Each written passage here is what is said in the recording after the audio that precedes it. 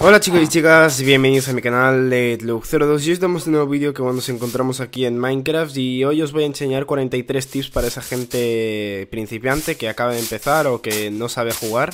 Entonces, bueno, una vez dicho esto, mm, sin más remordimientos, empecemos. Si encantas un tridente con lealtad, este vuelve hacia ti.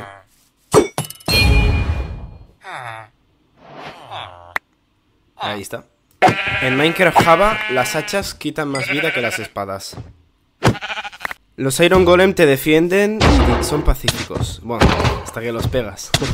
y la verdad, vaya hostias que meten los hijos de puta. A partir de la 1.14 los aldeanos necesitan mesas de trabajo para renovar sus intercambios. Los magma blocks te en el agua. En Minecraft Bedrock no hay cooldown. En Minecraft Bedrock las espadas quitan más que las hachas. Si encantas una espada con looting conseguirás más recursos matando a cualquier tipo de mob. Sin looting, con looting. Todos estos bichos son mobs. Los phantoms spawnan cuando llevas más de 3 días sin dormir. Te puedes proteger de los phantoms con el escudo. Bueno, si te atacan muchos te jodes. El escudo te protege de todo en un radio de 180 grados. Bueno, mm, de casi todo. Para montar un caballo necesitas una montura. Los caballos van más rápido que los humanos. No puedes montar un caballo en el agua. Los caballos esqueletos son muy raros. No necesitas montura para montar un caballo esqueleto. Puedes ir con un caballo esqueleto por el agua. Aunque no lo recomiendo porque puedes morir ahogado.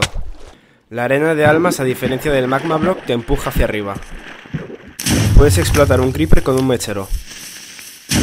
Puedes llevar contigo a los animales con cuerdas y maltratarlos.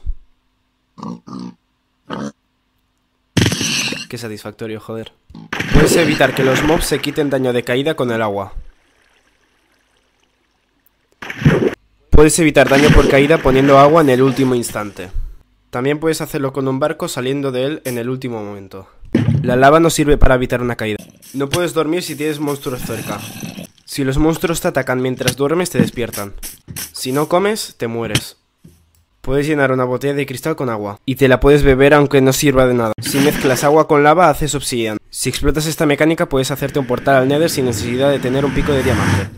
Para hacer un portal al Nether necesitas mínimo 4 de ancho y 5 de altura. Puedes encender un portal con un mechero. Puedes apagar un portal con agua o con lava. Puedes usar un barco para navegar por el agua. También lo puedes hacer por la lava. Nada, era broma. Puedes usar un barco para derrapar por el hielo. Es muy divertido. Puedes hacer un golem de nieve con dos bloques de nieve y una calabaza. También puedes hacer un iron golem. Y también un wither, aunque este ya no te lo recomiendo.